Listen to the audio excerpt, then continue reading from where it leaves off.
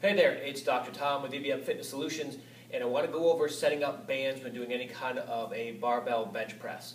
The setup is similar to setting up for the barbell squat, any kind of a back squat, something like that, but because the bar position is lower, it's going to present a couple of different challenges, and then depending on what you have as far as pegs or if you're using a dumbbell, you may want to set the bands up in a couple of different ways. So I actually have pegs set up at two different heights to kind of show you what I mean. This one here is set almost to the floor, similar to where a dumbbell would be. This one here is raised up a little bit higher, and as you can see, there's a ton of slack in this band. This is going to be very difficult to make work because it's so high up off the ground.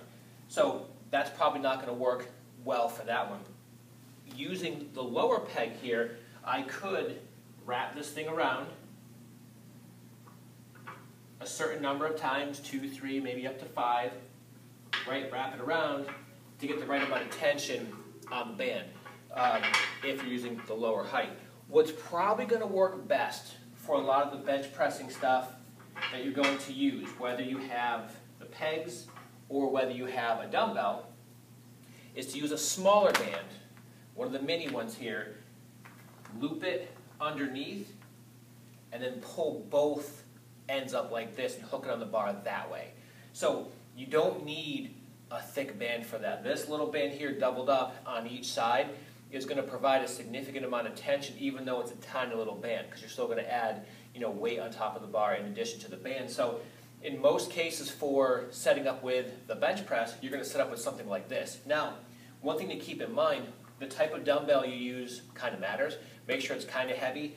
And if it's not the hexagonal kind here, if it's actually round, what you want to do is put some plates next to it to secure it from rolling around. You don't want to have you trying to bench press and all of a sudden your dumbbell takes off and goes for a ride here. So if you don't have these kind, take some small uh, two and a half or five pound plates and wedge them next to the dumbbell to keep it from moving around. But you're going to want to use, even with the peg, I could also use a similar setup depending on the type of pegs you have, where I could loop here and then pull up from there. For the bench press, that's probably going to be the best idea because as you lower down, you don't want to have a ton of slack in the band. And by doubling it up this way, you'll minimize that slack in the bottom position, but have a good amount of tension as you press towards that top position.